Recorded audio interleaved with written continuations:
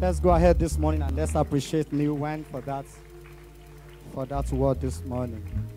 And where, wherever you are seated this morning, can you just go ahead and bless this perfect sacrifice? Jesus. Can you just bless him for that which he did for us on the cross? Is the perfect sacrifice. No one can do that which he did. Eternal Rock of Ages, we have come this morning to say thank you. Thank you, Father, for being the perfect example for us. Thank you, Father, because we know greater things you will yet do. As a people, we have come this morning to appreciate you, Lord. Thank you, precious Father. In Jesus' mighty name, we have prayed. Hallelujah. This morning, please encourage me and smile to someone this morning and say, Good morning. Hallelujah. I just ask someone, say, Are you really growing? What's the response of the person? Ask someone again, saying, Are you really growing? Precious Father, we heard that you will speak to every heart this morning, and your name alone be exalted at the end. Thank you, precious Father. In Jesus' name we have prayed. Hallelujah. Second Peter chapter 1 this morning.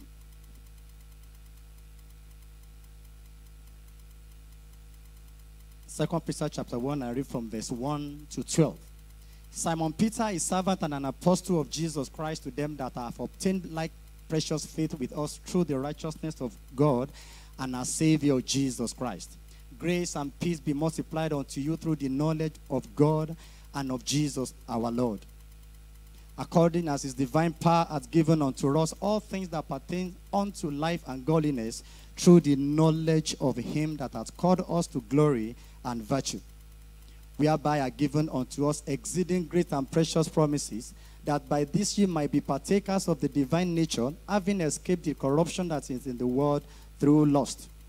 And beside this, giving all diligence, add to your faith virtue, and to virtue knowledge, and to knowledge temperance, and to temperance patience, and to patience godliness and to godliness, brotherly kindness, and to brotherly, kindness, charity.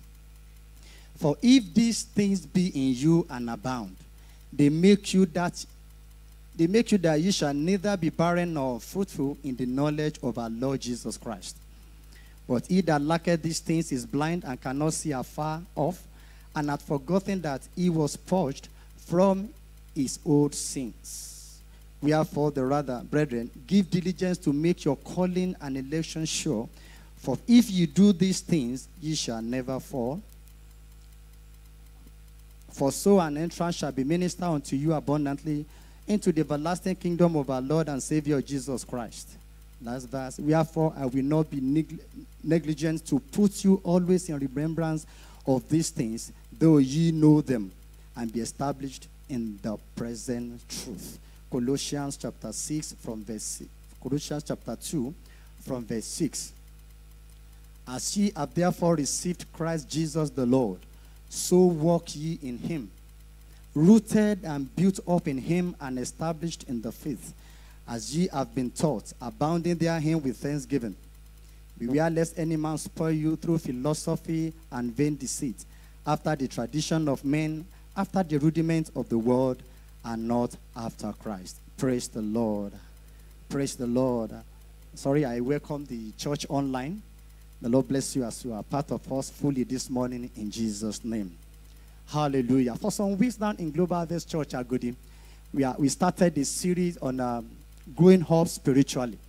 And we have been taught in this house through these uh, weeks that the intention of God for us when we got born again is not just to sit and think that uh, somehow, somehow, things will align, things will happen. I've been taught that uh, one thing that we need to do after we have after we have accepted Christ is to grow. God expects us to grow. God doesn't just want us to come to Him and just be. God expects us to grow. God expects us to, to know Him more.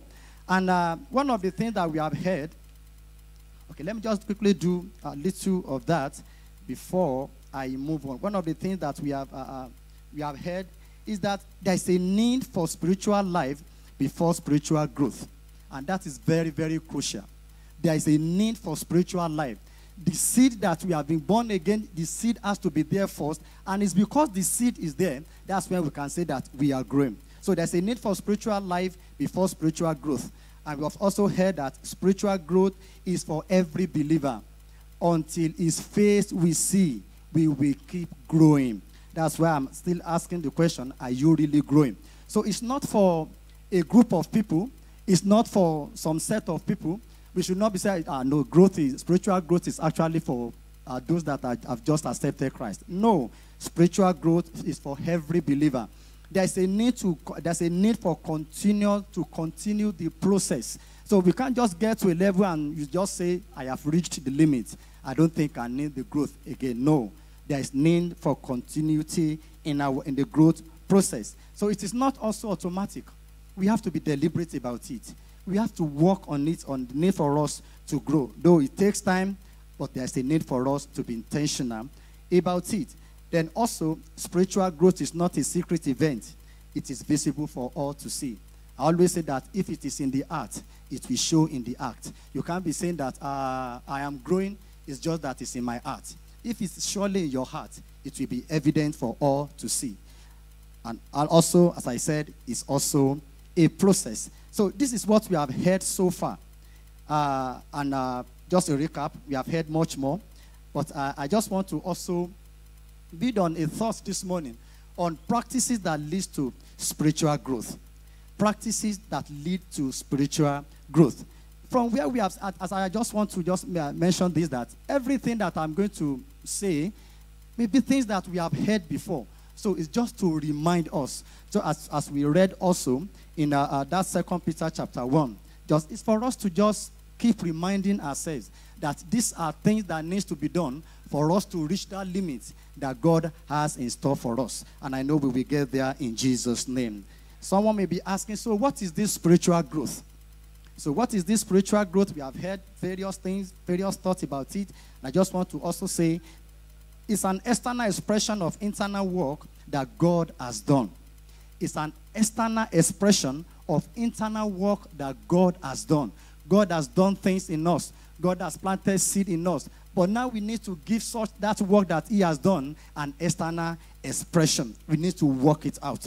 It is also a deliberate act of being aware of spiritual things. Things and everything is not on the same level. So, spiritual growth to us is a deliberate act. It's an action that we need to continuously put into practice. It's an act of being aware of spiritual things. Praise the Lord this morning. Hallelujah.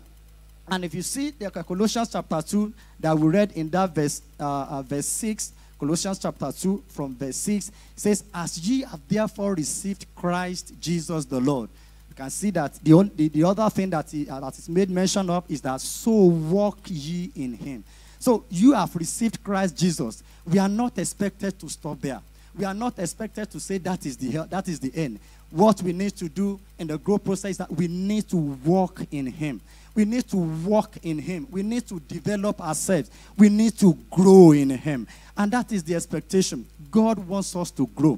Because we, even in the, uh, in, in, the, in every family, when the child is born, and by the time the, uh, the boy or girl is probably like two, and he or she has another, another brother, that's when the work starts. That's why you will say, okay, go and bring your brother's cream. So the work has begun. So, and that is also uh, uh, can be likened to us in the house too. If we, when we have come to the Lord, when we have come to His house, we are not, we are not just to sit down. We need to do our own work for us to grow. So the, let me let me just quickly begin what I have here this morning because of our time. The first practice that that leads to growth, that leads to spiritual growth now, is that there's a need to feed on His word. You know, I've said these are the things that we have heard before just to remind ourselves. Feed on His word. Brethren, an hungry Christian is an healthy Christian. We cannot just say that uh, we want to grow and we are not eating.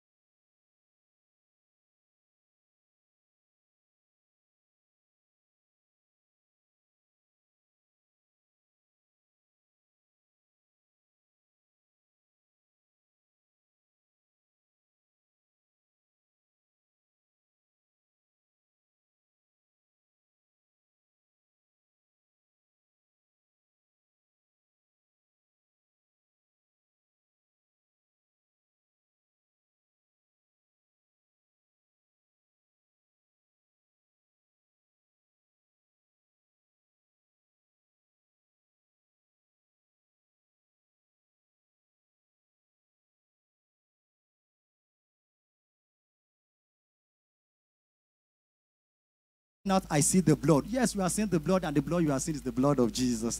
Hallelujah. Job chapter 23 and verse 12. The Bible says, Neither have I gone back from the commandment of his lips. I have esteemed the words of his mouth more than my necessary food. I have esteemed the words of his mouth more than the necessary food. This is a thing that we need to take up even very seriously this season. Matthew 4, Matthew uh, uh, uh, uh chapter 4 and verse 4.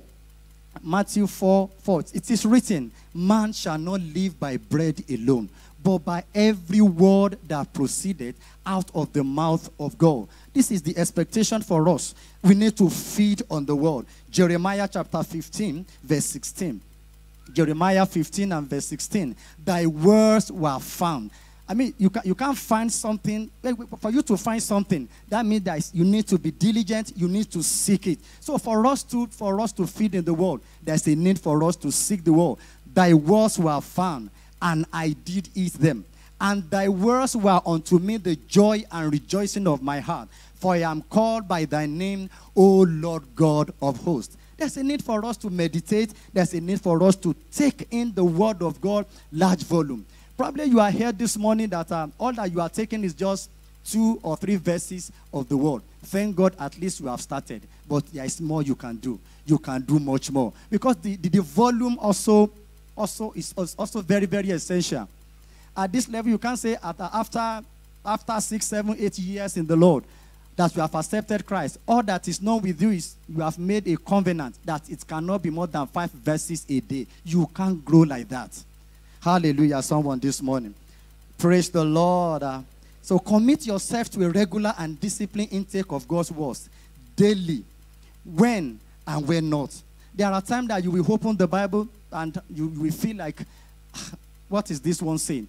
Yet we still need to read it. Because God will not do anything. Everything that He will do, it will be inside the word. Nothing will be done outside this word. So the understanding and the knowledge of this will motivate us to come to his word and be rejoicing in it. Hallelujah. This morning. Now, how do I study this word? Now, spend time on your own. Let's check this, uh, uh, uh this group of people in Acts of Apostles, chapter 17 and verse 11.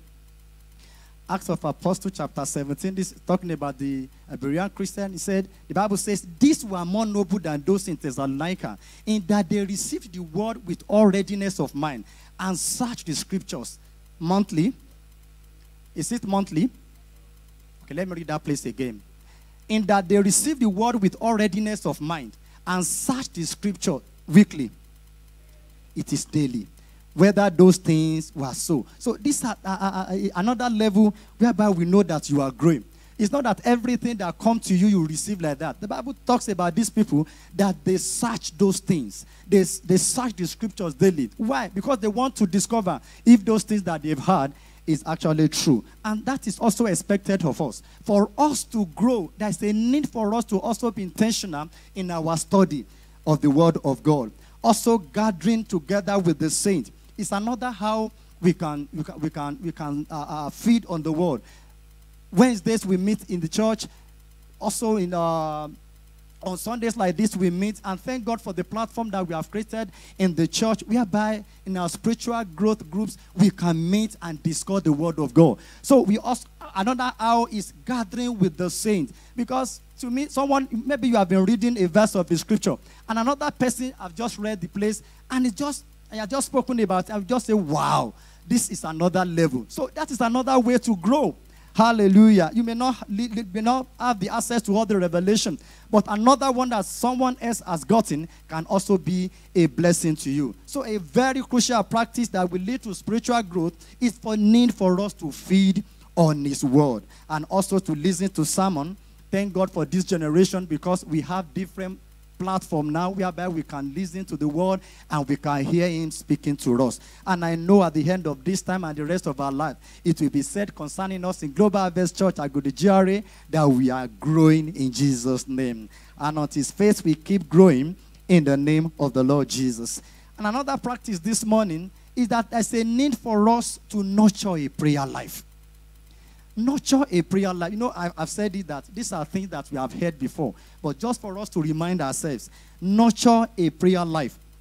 And when I'm saying uh, nurture a prayer life, I, am speaking about uh, a situation whereby every your prayer life will not be centered on you. Your prayer life will not be all about me, I, and myself. If if we gather together to pray, one of the things that we see that we know if you are growing is okay, let's pray for Nigeria, and that's when the, your, your your voice just goes down. Or let's pray for people in um, Ukraine. Or let's pray for people in the northern part of Nigeria where issues are, and your voice just just just go down. But when the another person just comes up and says, Now let's pray that you just blow anyhow, and we hear your voice again, brother and sister, you are not growing. So nurture a prayer life. Okay, let, let's see our example, the perfect example that we let's let's see Jesus in Mark chapter 1 and verse 35. Mark chapter 1 and verse 5, the Bible says about Jesus, said, And in the morning, rising up a great while before day, he went out and departed into a solitary place, and there he gisted. And there he was playing, and there he prayed. That is the example that Christ has laid for us. Christ prayed. I know many of us will be asking, what's because I've asked that question too. What do you think Jesus will be praying for? Will not be praying that will not pray for some prayer, but I know he prayed. So, and in the morning, he departed into a solitary place, and there he prayed. So, you too, let's let's nurture a prayer life. Maybe your own is a because I heard that there is a quiet time and there is noisy time. Because there are some people that their own quiet time is noisy time. So, whatever area, whatever one you have, let's nurture a prayer life. Let's also, because why I'm emphasizing this is that we have this confidence in our God, according to First John 5:14. That this is the confidence that we have in Him. That when we ask anything according to His will, so He will not do anything outside His will. And if we ask anything according to His will, what He does is that He hears us. God hears us. And that is the confidence I want us to come up with when we are, when we are uh, in the place of prayer. Let's know and have this commitment that uh, to prayer. Then uh, uh in, jo- in Jeremiah 33 and verse 3, God, God expects us to pray unto him. He, he, he, he, expects us to, he expects to hear our voice. That Jeremiah 33 verse 3, Bible says, call unto me and I will answer and show thee great and mighty things which thou knowest not. There are deeper things, sir. There are deeper things, but and God doesn't want to hide them from, uh, from us. God wants to reveal those things to us, and those things can be we can get those things we can um, those things can be revealed unto us when we pray unto Him. And you know, prayer is not just one one uh, uh one route like that. When we talk to Him, He also wants to speak with us. I know there are some school of thoughts that are whatever one you I mean, whatever one you want to do, just start from somewhere. I started is whereby just everything, everything, everything to you and now sit down. Okay, so I have spoken. What do you have for us to say, Father? And there, there are times that when you are when doing that prayer, God just interjects your prayer and He speaks to you. God, He doesn't want to hide anything from us. Don't let us just be looking at our Father as someone who is holding two things and just say only one. And this one, I don't want. God wants to show things to us. God wants to reveal to us. And another uh, area I want to look at in, in nurturing uh, a prayer life is the need for us to pray for others. Need for us to pray for others. It shows that we are growing. I, I, I love this uh, verse of the scripture in Colossians chapter 4 and verse 12. Talks about a certain man says, Epaphras, Epaphras who is one of you, a, a servant of Christ, saluted you, always laboring fervently for you in prayers. Look at this man. He was not just praying for himself, he was not just praying for his needs. The Bible says that he prayed for others, always laboring fervently for you in prayers. And the prayer is that that ye may stand perfect and complete in all the will of God. And that should also be our own take too. Take up families in prayers. Take up brothers in prayers. Take up members, members, uh, uh, members of the same uh, ministry. Just pray for people. It shows that you are growing. And I see this working for us in Jesus' name. this season, I want us to have faith project. It shows that we are also growing. Let's have faith project. Let's everything. Maybe I, I, I know I have a friend that from his secondary school days, they, they try to uh, arrange things. Now, we are now like telling, him, okay, you, are, you arrange secondary school, you arrange this, you arrange job. They were now trained to arrange babe for him. I was like, say, now, guy, when we, and it's not just that he doesn't want the guy saying this is not the will of God for my life. I said, now, has God spoken to you? Has God said what we are going to say? Ah, so how will I? Because all this life, they have been arranging things for him. It's good if you have people that can arrange, but at least let's also take steps. Let's seek God on our own. Let's have faith project this season. And I see God helping us as we are bound in him in Jesus' name. Hallelujah. Another one like that is that that we lead. I've, I've said something like that is that let's always take a step of faith. It also shows that we are growing. Always, not sometimes, always take a step of faith. The Bible tells us in Luke chapter 5, uh, uh, from chapter 5 from verse 4 about uh, Simon Peter. Simon Peter was a, a, a master in his own field.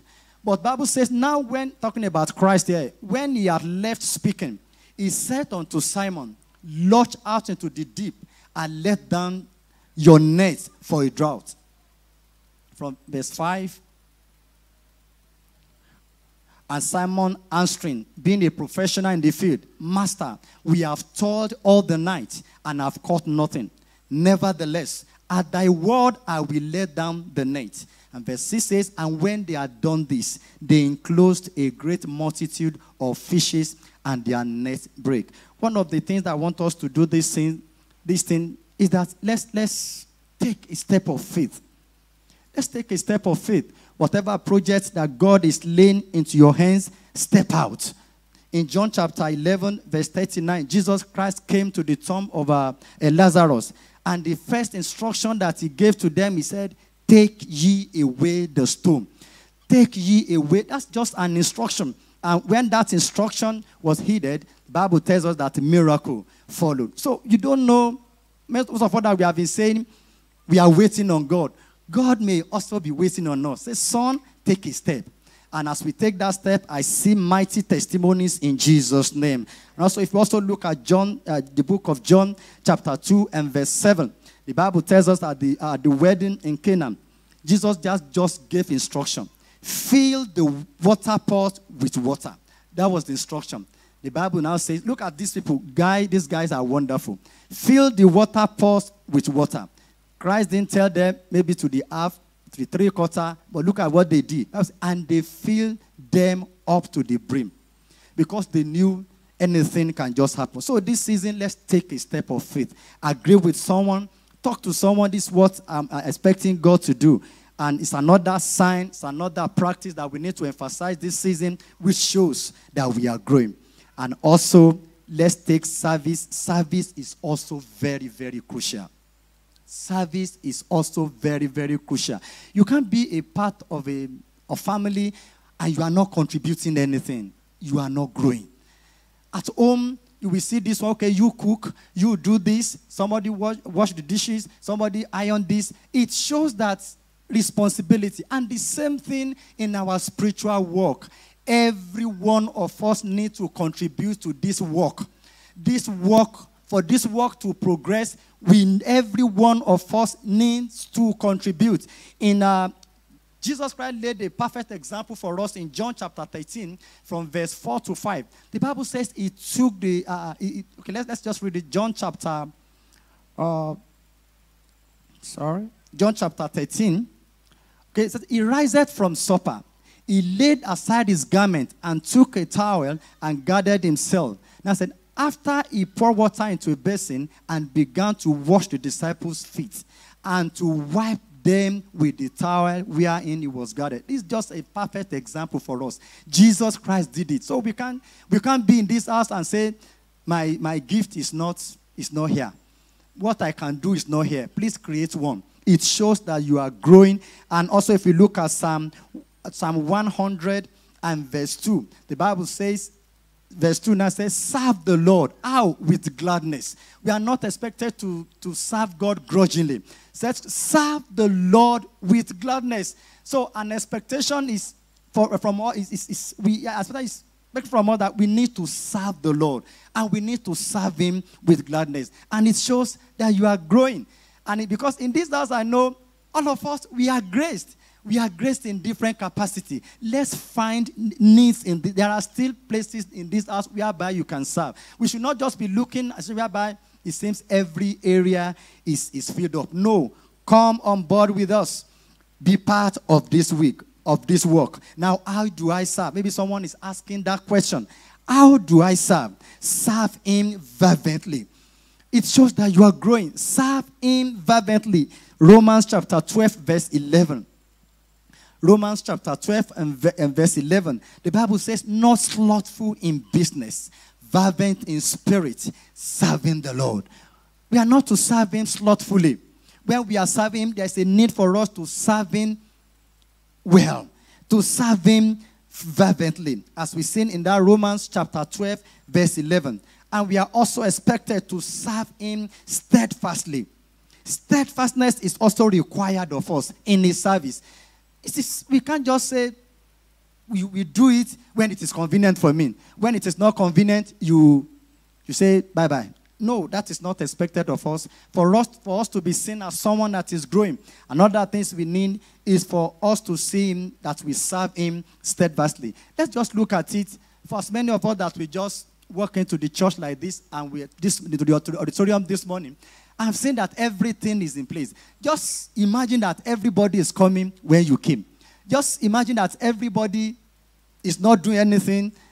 Just as some of us, we are not doing anything right now. But I know the th- things are changing in Jesus' name. So, how do you think that the sound will be this morning? How do you think the atmosphere will be this morning? How do you think everything? How do you, how do you, uh, you just think that the, the new wine, they will just show up and the song will just flow? No. I know they do more than that. And also, there's a, also for us to see that you, you are growing spiritually, we, you also need to serve Him continuously.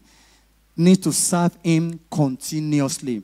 It doesn't have to be uh, at a time because we hear someone asking some people, ah, why is it that you are not doing anything again? And the thing they will tell you that ah, we have served God when we were in school. Thank God for all the papas and mamas of the NCCF and all the like. But this is another season of your life. So, and growth continues. So, there's also need for us to serve Him continuously. And I see Him blessing us. I see Him enlarging our coast in Jesus' name. And this morning, I, I, this, this part is what I would like to dwell a bit. And I just want you to just stay with me.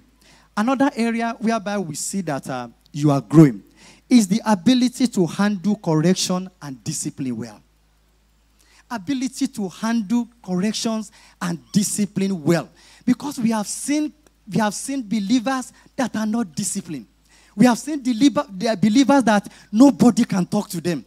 I believe in a relationship, there are people above, there are people that you're on the same page, and there are people below you. Friends, people should be able to talk to you. Hallelujah. We should not get to a level whereby we think we have arrived and nobody can just say, bros, ah, this you, you can do this better. Hallelujah. Bible tells, if you read um, Hebrews chapter, chapter 12, let's, let's read that verse of the verse of the scripture. Hebrews chapter 12 from verse 11. The Bible says, and ye, no, from verse 5, please. And ye have forgotten the exhortation which speaketh unto you as unto children, my son. Despise not thou the chastening of the Lord, nor faint when thou art rebuked of him. For whom the Lord loveth, he chasteneth and scourgeth every son whom he receiveth. If ye endure the chastening, God dealeth with you as with sons. For what son is he whom the Father chasteneth not? But if ye be without chastisement, whereof all are partakers, then are ye bastards and not sons. Furthermore, we have had fathers of our flesh which corrected us, and we gave them reverence. Shall we not much rather be in subjection unto the Father of spirits and live? For they verily, for a few days, chasing us after their own pleasure, but if for our profit, that we might be partakers of his holiness. Now, now, no chastening for the present seemeth to be joyous, but grievous. Nevertheless, afterward it yielded the peaceable fruit of righteousness unto them which are exercised thereby. Brethren, I, I want us to note this that one we, we all, as we meet like this, gather like this, there will be issues, there will be things. But one of the thing area, one of the area that we see if you are growing is the way you undo issues when they come up. Because brethren, there will always be issues. But the way you you you handle them identifies and tells us where you are in your spiritual level. Because I have heard people that there are issues. And what you will hear one party say is, it's not that I have anything against you, but for the sake of peace, go your way and let me go on my way. If you are doing that, you are not growing. Hallelujah. And or probably issue, uh, uh, an issue come up and people are trying to, to come to call the two of you together, say, let this be. And you are saying until his face, whose face? Until his face we see. Nobody can talk about it. Whose face are you talking about here? So there is a need for us to undo discipline and corrections very well. You know, because we are, I know many of us, we have met people that they are just 10 years uh, in Christ.